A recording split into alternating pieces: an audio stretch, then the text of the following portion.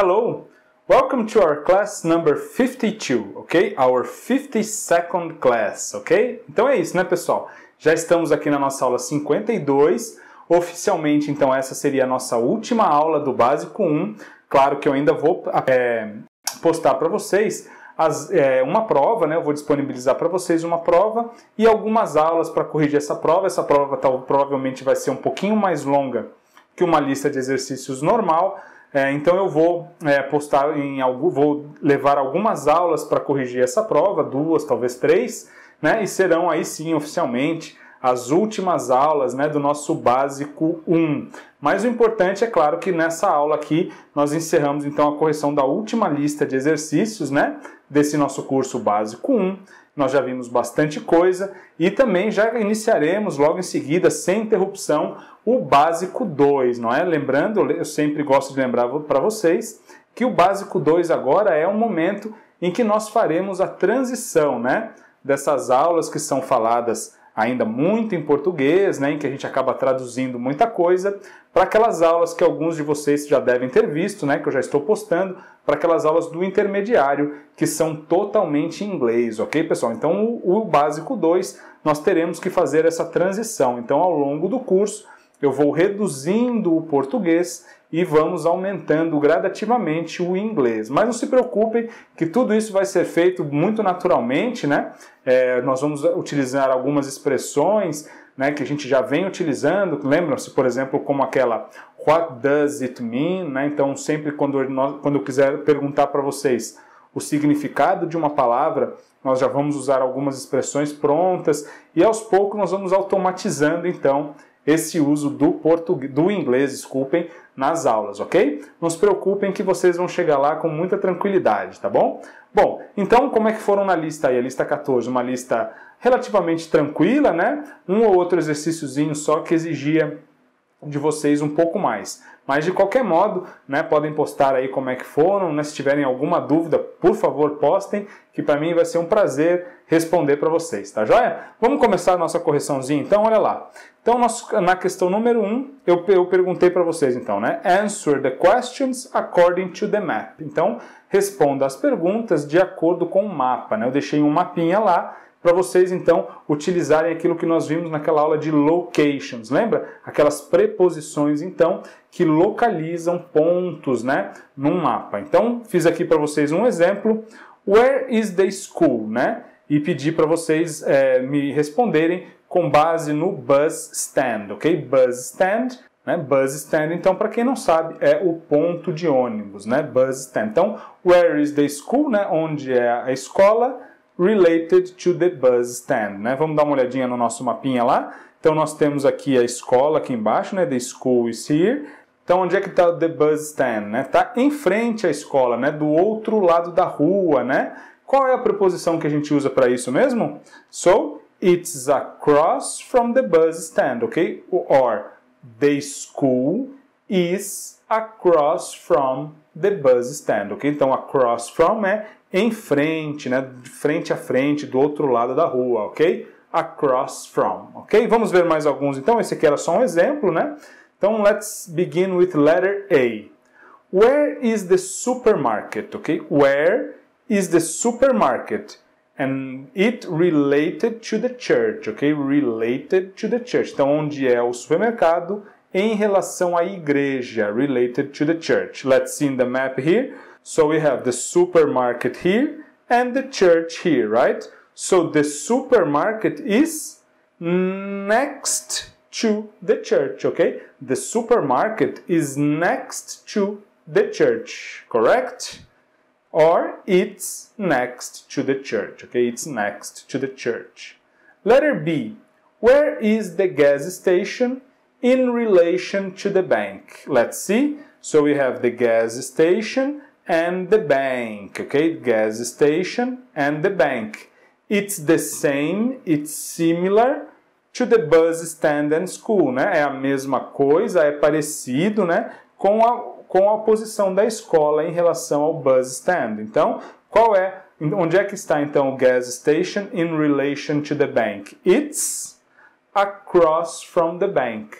It's across from the bank. Ou, se preferirem, claro, the gas station is across from the bank, okay? Now letter C. Where is the hotel? Where is the hotel? And in relation to Maple Street. Let's see.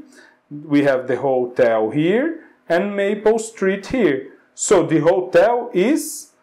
Como dizer isso? O hotel está na Maple Street. A gente vai usar a preposição on, né? It's on Maple Street. The hotel is on Maple Street. Letter D. Where is the bookstore? Where is the bookstore? In relation to Main Street and Second Avenue. Então, onde é que está a livraria em relação com a rua principal, Main Street, and, e a segunda avenida, and the Second Avenue. Então vamos lá, olha só. The bookstore is here, Main Street is here, Second Avenue is here. Então, como é que eu posso dizer então que a livraria está na esquina, né? da Main Street com a Second Avenue. Como dizer isso mesmo? Lembram-se? So it's on the corner of Main Street and Second Avenue. The bookstore is on the corner of Main Street and Second Avenue. Okay? Number two. Answer the questions according to the map, ok? A mesma situação, também re responder as perguntas de acordo com o mapa. Mas nessa daqui agora, eu não quero só que vocês localizem no mapa com relação a outra coisa. Eu quero que vocês me digam como chegar. Lembram-se? How can I get? How do I get? Então eu vou dar para vocês um ponto de início e vou perguntar então como chegar lá, não é? Foi aquilo que nós vimos na nossa aula que falava de directions, não é isso? Então vamos ver um exemplo aqui, olha só. How can I get to the bookstore from the school? Então, olha só, from, sempre indicando origem, né? Então, from the school, da escola. Como eu posso chegar, né? Como eu chego até a livraria se eu estiver na escola, começando na escola? Let's see. So, the school is here and the bookstore is here, né? Então, Ok, então como chegar, né? Então olha só, a gente está aqui na school, como chegar aqui na bookstore? Tem vários caminhos, ok? Eu optei então por, por nós virmos aqui pela Maple Street primeiro, ok? Então primeiro nós vamos andar na Maple Street por uma quadra, não é isso? Como dizer isso mesmo? Go or walk on Maple Street for one block, não é isso? And then, e então, turn right, não é? Vire à direita on Second Avenue, na segunda avenida. Okay, you can say, podemos dizer então, go up Second Avenue for one block, né? Também suba a segunda avenida por uma quadra.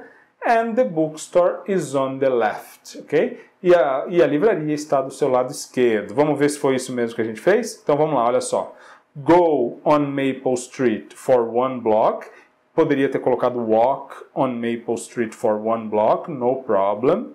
Then turn right on Second Avenue. Ok, então depois vire à direita na segunda avenida.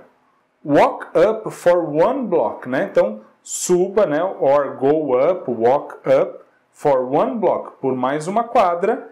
And the bookstore is on the left. E a livraria estará na esquerda, ok? The bookstore is on the left, ok? Bom, mas esse era o exemplo. Vamos ver agora então se a gente consegue resolver alguns nós mesmos, né? Letter A. How do I get to the park from the church? Let's see.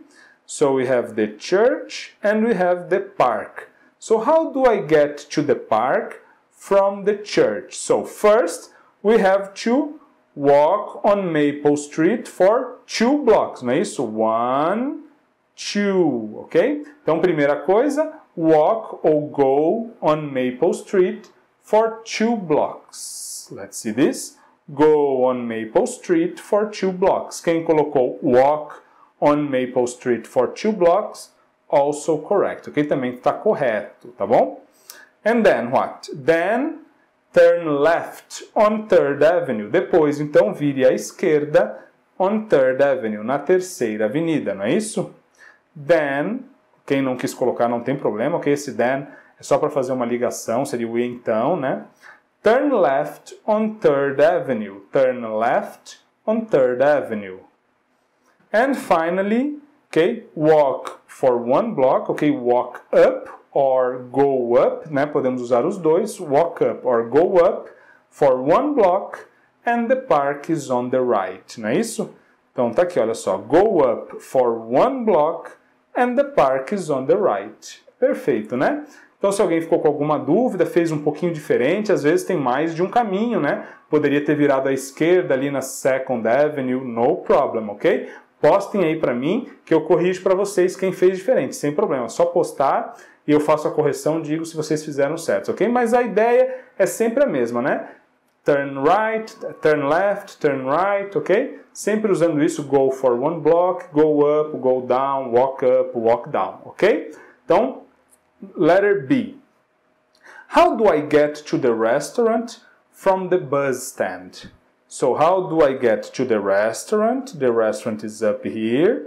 From the bus stand. The bus stand is down here, ok? Então quem quiser pode começar aqui na Third Avenue subindo, ou quem entender que bus stand já está aqui na Main Street, pode ir direto pela Main Street, no problem, ok?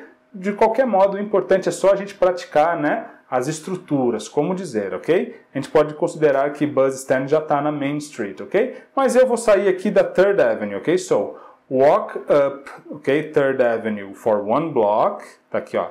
Walk up Third Avenue for one block, and then what? Turn left, não é isso? Olha aqui, ó. Turn left on Main Street, não é isso? Vira à esquerda na Main Street. Ok? Then turn left on Main Street. Okay? Quem não quiser colocar isso, pode começar já do que nós vamos ver agora, que já estamos na Main Street, não é isso? O que a gente vai ter que fazer na Main Street? Walk or go on Main Street for one block, two blocks, ok? Então, one here, right? One block and two blocks. So, walk for two blocks and the restaurant is on the right, ok? E o restaurante está à direita. Quem quiser colocar só essa última aqui já estaria correto, né? Poderia ter colocado então walk on Main Street for two blocks and the restaurant is on the right. Também estaria correto, ok? Já saindo direto da Main Street, ok? Letter C. How do I get to the barber shop from the phone box? Então tá aqui, ó.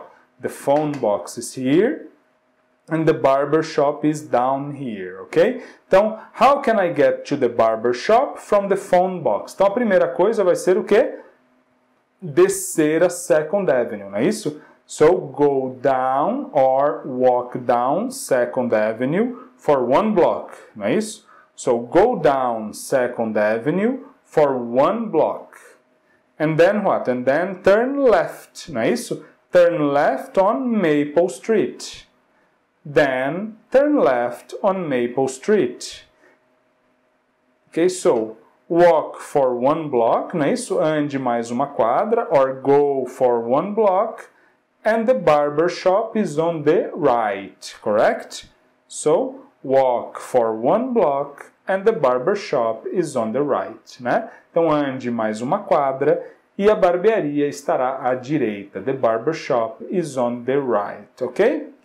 Very well. Okay, number three. Complete as lacunas com os verbos entre parênteses no simple past. Ok, então temos que colocar esses verbos no simple past e depois passar as frases para a forma interrogativa e negativa, ok? Esse é um exercício bem completo que vai então pegar as três aulas que nós fizemos sobre o simple past, né? Tem verbos regulares, verbos irregulares então espero que vocês já estejam é, familiarizados com a lista, né, que é sempre a primeira providência. Se não conhecerem o verbo, é olhar na lista. Lembram-se da regrinha? Olhou na lista, o verbo não está lá, é regular. Temos que colocar o ed no final. Olhou na lista, o verbo está lá, a coluna seguinte então será a forma dele já no passado, ok? Quer dizer então que ele é um verbo irregular. Então vamos começar aqui, olha só. David, his English course in December. E o verbo é o verbo finish. Finish que é terminar, né? Olharam na listinha lá, não encontraram o finish, né? Não precisa olhar todos os verbos, hein, pessoal? Não precisa olhar a lista inteira. Está em ordem alfabética, tá? Então é só olhar ali na letra F. Achou finish? Não achou finish? Pronto. Então finish é regular, regular. É só colocar o ed no final. Não cai em nenhum dos nossos casos lá, né? Que a gente tem que fazer alguma modificação. Então é só colocar o ed direto. David finished his English course in December. Então, o David terminou o seu curso de inglês em dezembro, ok? David finished his English course in December. Pergunta agora: o que, é que nós vamos precisar? Finished aqui não pode ir para frente do sujeito, não pode. Precisamos do auxiliar. Quem que é o auxiliar do passado mesmo? É o verbo did, não é isso? Então o did vem aqui na frente do sujeito, que é David. E o que, que acontece com o finished mesmo? Ele perde o ed de novo, né? Volta para a forma normal dele, né? Finish, ok? Como é que vai ficar então? Did David finish his English course in December? O David terminou o seu curso de inglês em dezembro? Did David finish his English course in December? E a negativa, a gente vai acrescentar o not no auxiliar, não é isso? E de novo o verbo perde a conjugação do passado. O que vai valer agora é o auxiliar. Quem diz para mim se a frase está no passado ou não nas formas interrogativa e negativa é o verbo auxiliar, ok? Na verdade, então, a gente só conjuga o verbo principal quando nós estamos na afirmativa, não é isso? Mas então aqui nós temos que conjugar o verbo auxiliar, que é o do, que conjugado no passado fica did, não é isso? Então a negativa vai ficar David did not finish his English course in December. Claro que quem contraiu did not, sem problema, right? David didn't finish his English course in December, ok? O mais importante era lembrar de tirar o ed do finish, não é isso? David didn't finish his English course in December. Letter B. Meg, her cousin to the dinner. E o verbo é o verbo bring, ok? Cousin é primo ou prima, né? Eu coloquei no vocabuláriozinho lá para vocês, né? Então o verbo é to bring, né? Que é trazer. Então a Meg trouxe o seu primo ou a sua prima to the dinner. Nesse caso aqui a gente não consegue saber, hein? Se é primo ou prima, né? Vamos, teríamos que esperar alguma contextualização. Aqui a gente não consegue saber, ok? Então Meg trouxe a sua prima para o jantar, to the dinner, né? Então olharam lá na letra B, bring, acharam o bring lá? Acharam, é isso? Porque bring é irregular. Qual é o passado de bring? Repeat with me. Brought. Brought. Ok? brought. É quase como se a gente não falasse esse UGT aqui, só B-R-O-T, né? Brought. Brought. Ok? So Meg brought her cousin to the dinner. Trouxe seu primo ou sua prima para o jantar. Ok? Question. Então vamos usar o did, a mesma coisa, e o verbo volta a ser bring, não é isso? Igualzinho com os verbos regulares. Did Meg bring her cousin to the dinner? Did Meg bring her cousin to the dinner? Ela trouxe, né? A Meg trouxe o seu primo ou a sua prima para o jantar? And negative, Meg didn't bring her cousin to the dinner. Mary did Meg, sorry, né? Meg. Meg didn't bring her cousin to the dinner. Não trouxe o seu primo ou a sua prima para o jantar, ok? Letter C. Sam to get a visa, a Canadian visa, ok? Então aqui o verbo é o verbo to try. To try é tentar. Então o Sam tentou, né? Porque nós dissemos lá no começo que ano passado, né? Tentou conseguir. Olha só, aqui o verbo to get vai significar conseguir, né? Poderia ser pegar também nesse caso, né?